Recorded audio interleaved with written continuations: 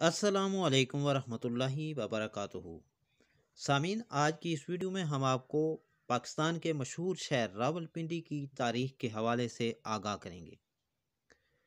रावलपिंडी, जो इस्लामाबाद के साथ ही एक जुड़वा शहर है और इस वक्त पाकिस्तान का एक मशहूर शहर है, यहाँ माजी में क्या था और रफ्ता रफ्ता इस शहर में कैसे आबादी हुई और यहाँ कौन कौन सी अहम शख्सियात जो है, वो माजी में मौजूद थी।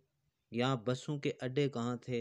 कौन कौन सी ट्रैफ़िक यहाँ पे चलती थी? अमारात कैसी थी? होटल कैसे थे? और ये शहर किस वक्त तक, रात गए तक खुला रहता था?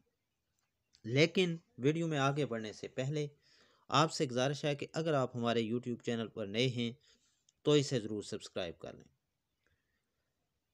ये कोई पुरानी बात नहीं है कि जब रावलपिंडी एक छोटा और इंतहाई पुरसकून शहर हुआ करता था 1980 की दहाई तक शहर मरीर चौक से शुरू होकर सिक्स रोड पर ख़त्म हो जाता था।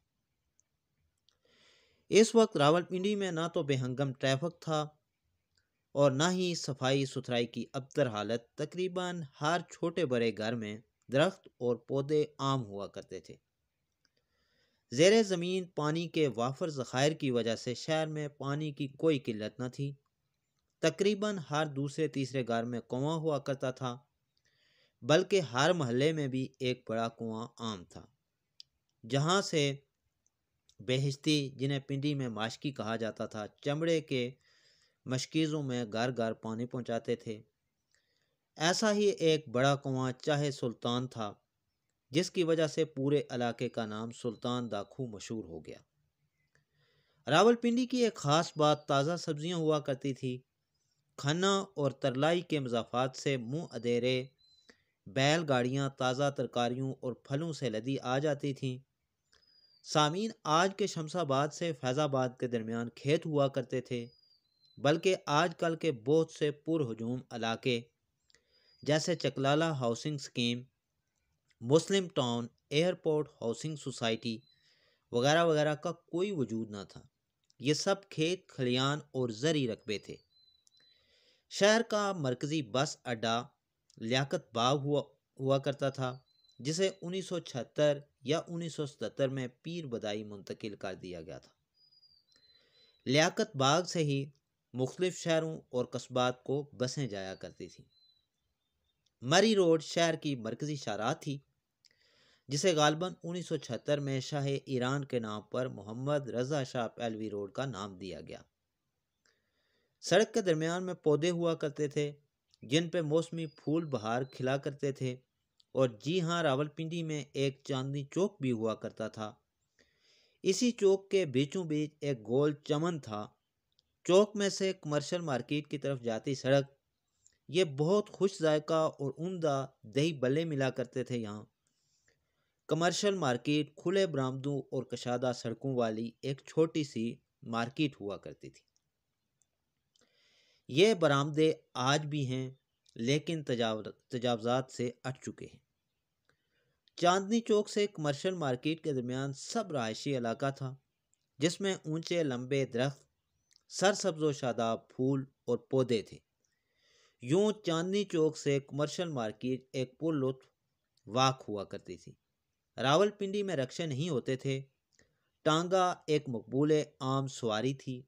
खाते पीते लोग हेली, यानी काली पीली मोरस टैक्सी को तरजीह देते थे। लेकिन शहर में टांगे का चलन मशहूर था। फवारा चौक, कमेटी चौक चा सुल्तान और बन्नी चौक, जिसे अब शायद सनी चौक कहा जाता है, बड़े टांगे स्टैंड थे। यहाँ घोड़ों को पानी पिलाने के हौज भी हुआ करते थे। चाँद इलाकों को छोड़कर शहर इशा के बाद संसान हो जाता था। घर से बाहर खाना खाने का रवाज न था। और रात को अगर कुछ खाने पीने का मूड होता तो कमेटी चौक पे एक दूध दही की दुकान मकबूल थी। कॉलेज रोड और बनी महल्ला में तिक्के और कबाब की दुकानें रात देर तक खुली रहती थी। क्योंकि गुमान था कि सिर्फ़ ओबाश और आवारा मंच लोग रात गए इन जगहों का रुख करते हैं। इस्लामाबाद से एयरपोर्ट जाने के लिए फैज़ाबाद से डायरेक्ट सड़क तो मौजूद थी, लेकिन ज़्यादातर लोग मरी रोड से चाह सुल्तान चौक के रास्ते से एयरपोर्ट जाते थे। उस वक्त कई लोगों का ये कहना है कि हमने वज़ी अजम पाकिस्तान, जुल्फ़कार अली भट्टू को एयरपोर्ट जाते हुए देखा था। इस ज़माने में वीआईपी के लिए ट्रैफ़िक बल्कि शहरों को बंद नहीं किया जाता था। शहर की सियासी क्यादत खुर्शीद हसन मीर, जावेद हकीम, कुरैशी, असली शेख रशीद एडवोकेट और राजा अनवर जैसे तालीम याफ्ता और अला ज़रफ शख्सियात के पास थी। मुल्क के बहुत से इल्मी और अदबी नाम रावलपिंडी के रहायशी थे। मसन शफीकुर रहमान, ममताज़ मुफ्ती, सैयद ज़मीर जाफरी कर्नल मोहम्मद ख़ान, अनवर मसूद, अज़ीज़ मलक, बल्कि अगर हम गिनते जाएँ तो ये तादाद काफ़ी तवील हो जाएगी। शहर में खेलों के बहुत से मैदान और बागात थे, यानी बहुत से बागात और मैदान थे। मरी रोड रोड पर तीन बड़े मैदान, सेंट्रल अस्पताल ग्राउंड, शबिस्तान सिनेमा और लियाकत बाग ग्राउंड वाक़ थे। और हर रहायशी इलाके में कोई ना कोई मैदान या पार्क था।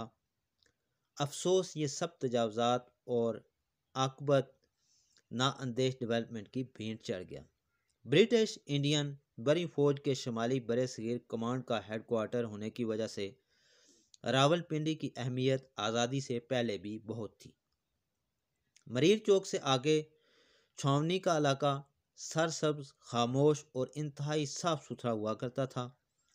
छावनी की तामीरत में विक्टोरियन और ब्रिटिश राज की तर्ज का तामीर नमाया थी, लेकिन कंटोनमेंट का तस्करा किसी और नशस्त के लिए छोड़ देते हैं। तारीखी तौर पर रावलपिंडी हिंदुओं और सिखों का शहर था। तकरीबन सारे ही कदीमी रहायशी इलाके, मसलन करतापुरा अंगतपुरा बाग सरदारा, अमरपुरा, मोहनपुरा, आर्या मोहल्ला चिटियाँ हटियाँ हिंदुओं और सिखों के बसाए थे और शहर के ज़्यादातर व्यापारी और ताजर भी हिंदू या सिख ही थे। वैसे तो पुराने शहर का हुरिया बिगड़ कर रह गया है, लेकिन आज भी बहुत से पुराने घर और ख़ूबसूरत तारीखी अमारात मौजूद हैं। ये शहर का तारीखी विरसा है, जिन्हें संभाल कर रखने की ज़रूरत है। ना जाने ये कौन करेगा। सामीन, ये सब ज़माना कदीम की बातें नहीं हैं। वो तमाम लोग जो सत्तर और अस्सी की दहाइयों के दरमियान रावलपिंडी को देख चुके हैं, यकीनन इस पुरसकून और सरसब्ज व शादाब शहर को नहीं भूले होंगे। जहाँ सब एक दूसरे को जानते थे, सबको याद होगा कि रावलपिंडी कैसा हुआ करता था और अब क्या बन गया है।